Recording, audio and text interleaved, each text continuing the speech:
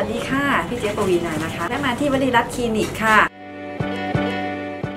วันนี้ก็กลับมาใหม่กลับมาให้คุณหมอกวางดูแลอีกนะคะ